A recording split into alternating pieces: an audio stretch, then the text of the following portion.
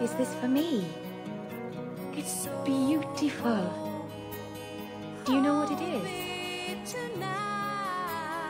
I only know that it was made by the Dalish.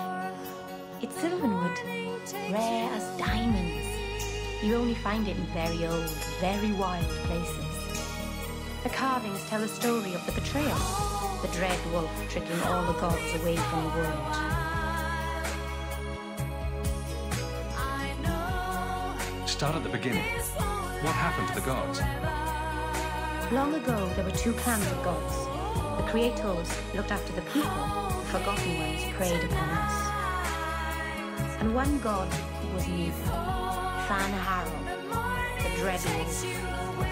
He was kin to the Creators, and in the old days often helped them in their endless war against the Forgotten Ones.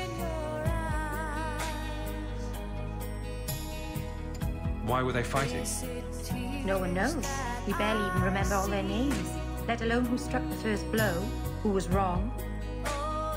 Fen'Harel was clever. He could walk among both clans of gods without fear, and both believed he was one of them. He went to each side and told them the other had forged a terrible weapon, a blade that would end the war. He told the Creators it was forged in the heavens, and the Forgotten Ones that it was hidden in the abyss. And when the gods went seeking it, he sealed them both in their realms forever. Now he alone was left in the world.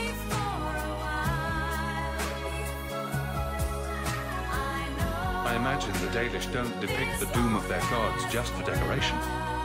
Not exactly, no. This was made for a keeper, you see, guarding a clan from the Dread Wolf. It's a keeper's place. It's a very sweet